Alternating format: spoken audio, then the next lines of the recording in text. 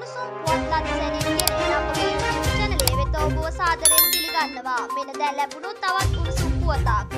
ආපන ශාලාවල ආහාර පානවල මිල අද මධ්‍යම රාත්‍රියේ සිට 10%කින් පහළ දැමීමට ආපන ශාලා හිමියන්ගේ සංගමය තීරණය කර තිබෙනවා. ඒ අනුව තේ කෝප්පයක් රුපියල් 30ක් වන අතර පිරිතේ කෝප්පයක මිල රුපියල් 100 දක්වා පහත දමා ඇති බවයි එම සංගමයේ සභාපති අසේල සම්පත් කියා සිටියේ. එසේම රෝල්ස් පරාටා බිත්තර රොටි සහ එලවලු රොටියක මිල රුපියල් දහයකින් අඩු කරන අතර කෑම පාර්සලයක්ද සියයට දහයකින් පහත දමන බවයි ඔහු සඳහන් කළේ. තිරිඟු පිටි මිල සැලකිය යුතු ලෙස පහළ ගොස් තිබීම හේතුවෙන් පාන් ඇතුළු බේකරි නිෂ්පාදනවල මිලද අඩු කළ මිල අඩ් මිලද අඩු කළ මිල ගණන් යටතේ මේ වන විටත් ක්‍රියාත්මකයි.